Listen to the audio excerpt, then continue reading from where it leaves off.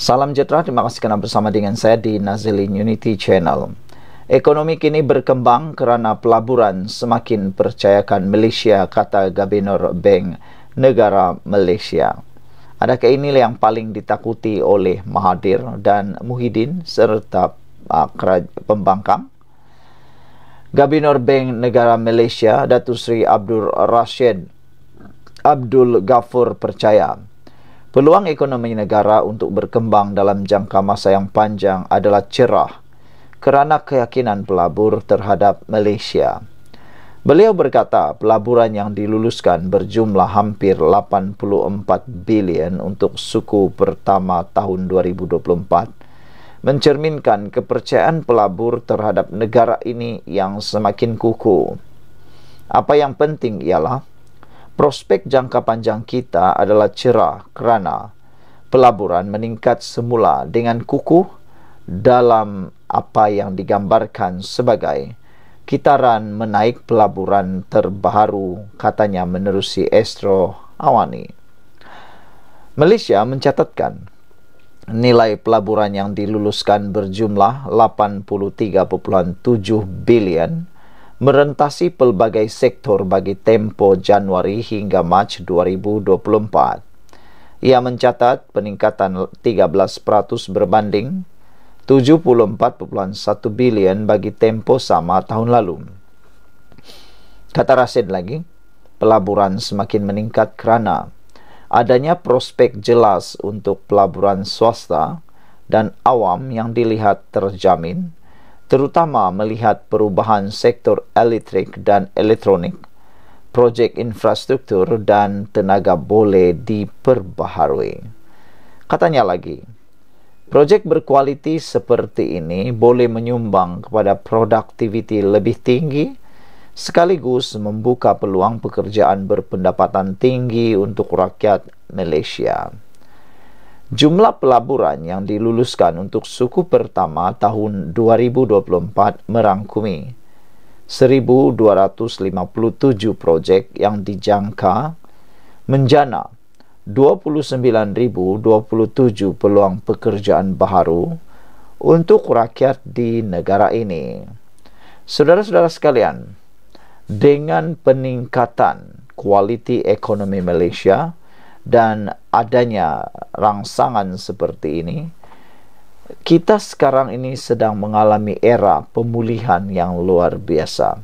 Malaysia satu ketika dahulu dikenali sebagai ekonomi rantau yang terbaik. Kali ini kita mula bangkit semula di bawah pimpinan Anwar Ibrahim. Apa yang diharapkan oleh netizen dan rakyat Malaysia ialah sudah-sudahlah berpolitik kata mereka. Terutamanya politik yang mahu memecahkan atau mahu menggugat kestabilan politik ekonomi di Malaysia. Tindakan sembrono pihak-pihak tertentu yang mengkabarkan, yang cuba mahu menjatuhkan kerajaan sekali lagi adalah tindakan yang betul-betul tidak bertanggungjawab. Tindakan-tindakan seperti itu boleh menyebabkan ekonomi negara akan terganggu lagi. Jadi bak kata Duli yang maha mulia di Pertuan Agung Titah Baginda berkata Titah Baginda ialah berhentilah berpolitik. Kalau nak kempen nak politik lagi tunggu lima tahun kata uh, Titah Baginda. Tunggu pilihan raya barulah berkempen. Ah itu yang terbaik tahniah diucapkan kepada kita semua rakyat Malaysia khususnya negara Malaysia dan khasnya juga pada pimpinan Perdana Menteri Anwar Ibrahim kerana kita dilihat ekonomi berkembang kerana pelabur semakin percayakan Malaysia. Kita jumpa lagi. Bye-bye. Salam jitra, terima kasih kerana bersama dengan saya di Nazilin Unity Channel. Ada orang kata dengan keputusan kerajaan kali ini akan membuatkan walaun netizen akan lebih gembira. Walaun harap-harap dapat terimalah kenyataan bahawa Anwar kini menunaikan janji menurunkan harga minyak. Ha, kalau kata Anwar Ibrahim belum lagi menurunkan harga minyak, itu bohong. Sehingga ke hari ini sudah berkali-kali harga minyak diturunkan. Kali ini sekali lagi harga RON 97 dan diesel turun 6 sen lagi. Harga runcit petrol RON 97 dan diesel di Semenanjung Malaysia turun sebanyak 6 sen kepada masing-masing RM3.19 seliter dan RM2.95 seliter bagi tempoh 19 hingga 25 September ini. Kementerian Kewangan dalam kenyataan hari ini memaklumkan pengurangan harga runcit itu seiring dengan penurunan harga pasaran minyak mentah dunia dan pengukuhan ringgit. Menurut kenyataan itu, harga runcit diesel di Sabah, Sarawak dan Labuan pula kekal pada paras RM2.15 seliter dan harga runcit petrol 95 kekal pada harga RM2.05 seliter. Penetapan harga itu ditetapkan berdasarkan harga runcit produk petroleum secara mingguan dengan menggunakan formula mekanisme harga automatik. Sejak 8 Ogos lepas hingga kini, kerajaan telah menurunkan sebanyak 40 sen seliter harga runcit diesel di Semenanjung Malaysia manakala harga runcit petrol RON 97 turun sebanyak 28 sen. Kerajaan Saudara-saudara sekalian, kerajaan akan terus memantau perkembangan pasaran dan menyelaras harga runcit produk petroleum dengan mengambil kira pergerakan harga pasaran minyak global dan juga menyokong kestabilan harga bagi memastikan kebajikan dan kesejahteraan rakyat terus terpelihara menurut kenyataan itu. Kita nak tunggu apa reaksi walaun, apa reaksi pembangkang dengan penurunan harga minyak berterusan daripada pihak kerajaan ini. Jangan kata Anwar tak payung. Jangan kata kerajaan tak payung. Kerajaan dah payung berkali-kali dan menurunkan harga minyak berkali-kali. Jangan pula anda buat-buat tak tahu. Sekian untuk kali ini. Jangan lupa tinggalkan komen anda. Salam sejahtera, terima kasih kerana bersama dengan saya di Nazlin Unity Channel. Ini isu paling panas yang berlaku di Malaysia. Syndicate Counter Setting, SPRM jumpa hampir 800 ribu ringgit di bilik tidur pegawai immigration grade rendah. Wow! Inilah yang paling kita benci berlaku. Bayangkan duit yang dikumpul melebihi 8 uh, lebih kurang hampir hampir 800 ribu ringgit disimpan dalam bilik tidur. Kita ni bukan di bilik tidur, dalam bank pun kosong, dalam akaun pun hampir kosong. Ini kan pula mereka tiba-tiba pula pegawai immigration grade rendah ada 800 ribu ringgit di dalam bilik tidur. Wah ini memang hebat. Mungkin berbantalkan duit. Mungkin bertilamkan duit. 800 ribu ringgit.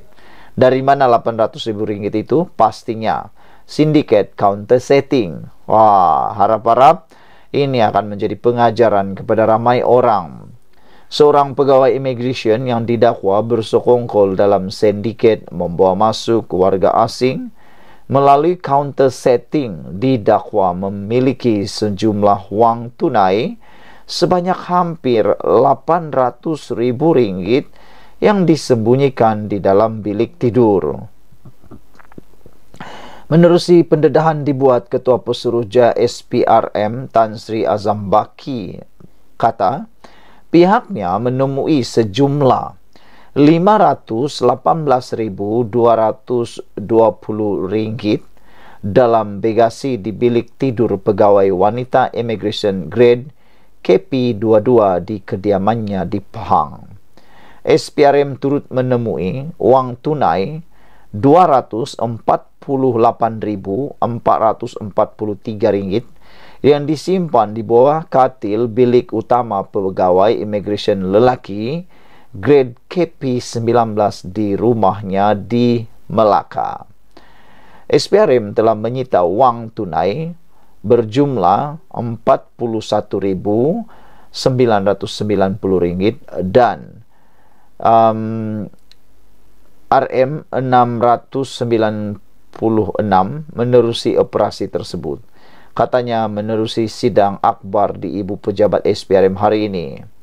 Sindiket counter setting menyaksikan lebih banyak pegawai penguatkuasa yang menerima rasuah membawa masuk warga asing ke negara ini.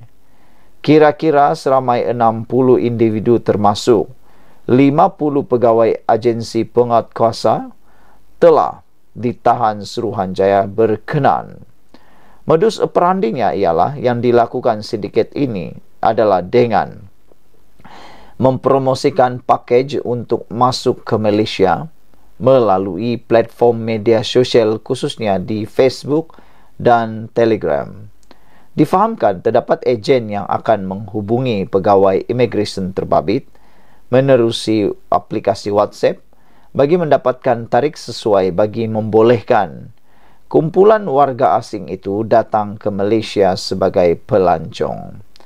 Pegawai-pegawai akan diberi rasuah antara RM200 hingga RM2,500 untuk setiap warga asing yang masuk ke negara ini. Mereka juga mempunyai kod nama berdasarkan kewarganegaraan warga asing di bawah masuk. Azam Baki berkata, bagi warga Bangladesh, kod namanya ialah Schoolboy dengan rasuah sebanyak RM2,500. Bagi warga Myanmar pula adalah Junta RM1,500. Pakistan karpet RM1,300, India kicap roti canai RM800, China limau RM350, Vietnam lychee nguyen RM350 dan Indonesia pula yaitu salak RM300. Kita bersyukur kerana SPRM bertindak luar biasa sejak kerajaan dipimpin Anwar Ibrahim ini mengambil langkah membenteras perang rasuah habis-habisan. Kali ini hampir semua disapu habis dalam satu uh, satu jabatan ini iaitu immigration yang melibatkan uh, hampir uh, baru-baru ini 60 individu termasuk 50 pegawai agensi penguatkuasa telah ditahan Suruhan Jaya berkenan. Wah, ini memang luar biasa. Terdapat ejen yang akan menghubungi pegawai immigration terbabit menerusi aplikasi WhatsApp. Yang mengejutkan kita semua, nilai rampasan hampir RM800,000 disimpan di bilik tidur. Ha, hang ada RM800,000 di bank, mereka tak ada di bank tapi ada di bawah katil. Sekian untuk kali ini. Jangan lupa tinggalkan komen anda. Salam sejahtera. Terima kasih kerana bersama dengan saya di Nazlin Unity Channel. Adakah benar apa yang disebut oleh pembangkang itu adalah pembohongan? Ini apabila satu laporan kata tak benar MOU langgar perlembagaan. Itu kata pemimpin AMNO. Makna kata apa yang disebut oleh pembangkang sebelum ini adalah satu perkara yang kelentong dan mengelirukan. Wan Agli Wan Hasan berkata, dakwaan dibuat pengerusi PN Muhyiddin Yassin dan Setiausaha Agung Hamzah Zainuddin tiada bukti kuku. Seorang pemimpin pemuda AMNO berkata, dakwaan Perikatan Nasional PN bahawa cadangan perjanjian mengenai peruntukan untuk ahli parlimen pembangkang bertentangan dengan pelembagaan persekutuan adalah tidak benar dan tidak ikhlas. Wan Agli Agil, Wan Agil, Wan Hassan berkata, dakwaan yang dibuat oleh pengurus CPN Muhyiddin Yassin dan Setiausaha Agung Hamzah Zainuddin tidak mempunyai bukti yang kukuh. Katanya, Hamzah tidak menjelaskan bahagian mana dalam memorandum persefahaman MOU itu yang dikatakan bermasalah atau bagaimana ia akan menjejaskan hak istimewa orang Melayu dan bumi putra. Menurut Wan Agil, draft MOU yang uh, ditolak oleh PN itu dengan jelas menegakkan Perlembagaan Persekutuan dan Kerangka Demokrasi Berparlimen. Fokus utama MOU itu adalah untuk mempromosikan prinsip marwah dan kesaksamaan untuk semua tanpa mengira kaum, agama, bahasa atau budaya katanya lagi. Pesanan ini selari dengan nilai-nilai asas dalam perlembagaan dan bukannya bercanggah dengannya. Lebih penting, draft MOU itu tidak mengandungi sebarang peruntukan yang akan mengurangkan atau menjejaskan hak-hak istimewa orang Melayu dan bumi putra. Kata pengurusi tetap pemuda AMNO itu kepada FMT. Wan Agil berkata, dakwaan bahawa MOU itu menjejaskan hak-hak Melayu dan bumi putra kelihatan lebih sebagai taktik politik daripada kebimbangan sebenar.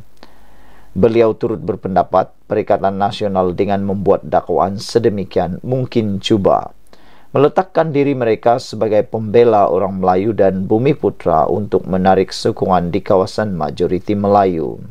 Katanya, mendorong naratif seperti itu akan menimbulkan keraguan terhadap komitmen kerajaan dalam melindungi hak-hak ini, walaupun kandungan sebenar MOU tidak mengancamnya. Ia seperti usaha untuk mengalihkan perhatian daripada bahagian lain dalam perjanjian itu yang mungkin mereka tidak suka.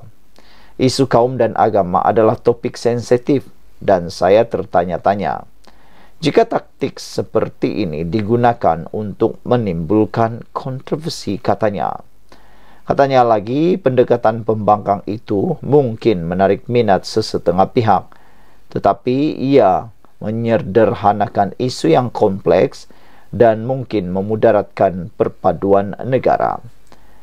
Pada hari yang lepas, Hamzah yang juga ketua pembangkang mengumumkan PN sebulat suara menolak draft MOU kerana mendakwa ia bertentangan dengan pelembagaan persekutuan dengan beberapa syarat dikenakan dikuatiri menjejaskan hak istimewa orang Melayu dan bumi putra. Beliau juga berkata draft MOU itu mengandungi syarat yang boleh dianggap sebagai bertentangan dengan nilai tradisi, nilai moral agama serta nilai-nilai tempatan. Pada selasa lalu, Muhyiddin berkata antara syarat terbabit ditetapkan antaranya menghalang ahli perlimen Perikatan Nasional membuat kenyataan mendiskriminasi mana-mana pihak sama ada atas dasar agama, kaum atau apa-apa faktor identiti yang lain. Pengurus CPN itu turut mendakwa identiti yang lain dalam syarat ke-10 dalam MOU itu merujuk kepada kumpulan LGBT. Sementara itu, Ketua AMNO Subang Arman Azha Abdul Hanifah menggesa pembangkang terutama Hamzah supaya menghentikan polemik seperti itu dan mengutamakan kebajikan rakyat. Arman berkata sudah tiba masanya Hamzah melangkah ke hadapan. Beliau sepatutnya mencadangkan alternatif untuk memperbaiki MLU daripada mempolitikan isu ini sehingga mengelirkan rakyat dan menimbulkan kegelisahan. Sekian untuk kali ini. Jangan lupa tinggalkan komen anda.